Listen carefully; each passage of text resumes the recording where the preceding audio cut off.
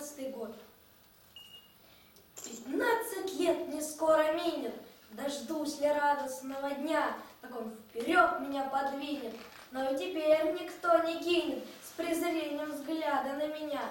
Уж я не мальчик, уж над губой Могу свой ус я защипнуть.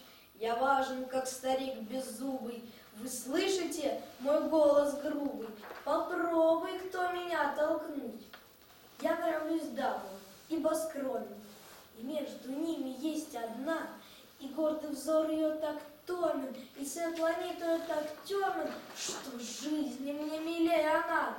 Она строга, властолюбива, Я сам дивлюсь ее уму, И ужас, как она ревнива, Зато со всеми горделива, И.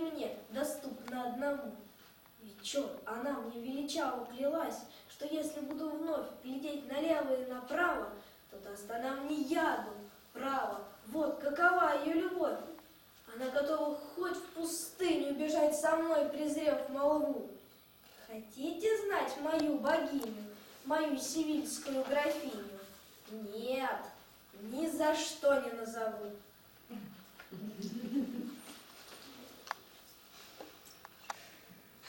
Пророк. Духовной жаждою томим, в пустыне мрач, в пустыне мрачной я влочился, и шестикрылый Серафим на перепутье мне явился. Перстами, легкими, как сон, моих зениц коснулся он. Отверзлись вещи и зеницы, как у испуганной орлицы, Моих ушей коснулся он, и их наполнил шум и звон, и внял я небо содроганье, и горни ангелов полет, и гад морских подводных ход, и дольни лозы прозябания.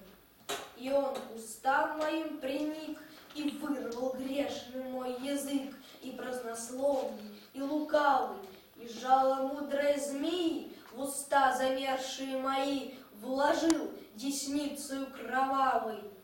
И он мне грудь рассек мечом, и сердце трепетное вынул, и уголь, пылающий огнем, во грудь отверстую водвинул. Как труп в пустыне я лежал, и Бога глаз ко мне возвал.